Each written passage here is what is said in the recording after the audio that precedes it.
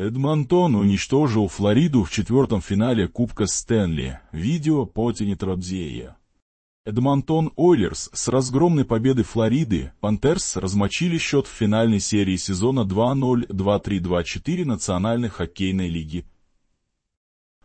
Об этом сообщает видео новости Украина со ссылкой на результат поединка Тачинатина. Нухо, Кубок Стэнли, финал, пункта Эдмонтон, Флорида, 8. 1. 3-1, 3, 0-2, 0, серия 1, 3.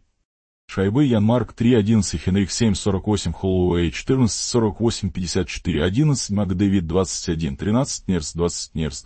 24, 59, 33, 0, 3, Маклауд 56, 41, Тарасенко 11, 26, 41 Тарасенко 11, 26, 41 Тарасенко 11, 26.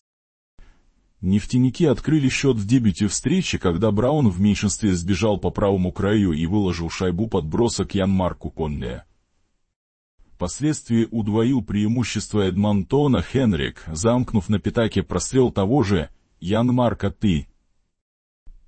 Пантерс быстро размочили счет усилиями Тарасенко, но дальше доминировали хозяева еще до конца первого периода закрепил преимущество Ойлерс, который в ближнем бою переиграл Бобровского Тей. На старте второй 20 минутки счет стал разгромным. Сначала Макдэвид в контратаке метко бросил под левую штангу, а затем Нерс из центральной зоны бросил под перекладину. Шестую шайбу Эдмонтона оформил Ньюджент Хопкинс, сыграв на добивании после броска Драйзетля с острого угла. Добили же Флориду хозяева льда в третьем периоде С. Коул. Холлоуэй отличился во второй раз с передачи Макдэвида, а Маклауд в атаке вторым темпом попал в угол Пути. Разгромная победа лишь немного подправила положение Ойлерс в финальной серии Поции.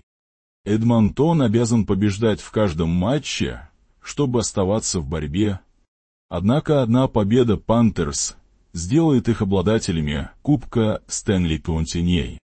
Следующий поединок состоится в Санрайзе в ночь на среду 19 июня. Кюня. К слову, ранее сборная Чехии стала чемпионом мира, впервые за 14 лет Тайтоуня.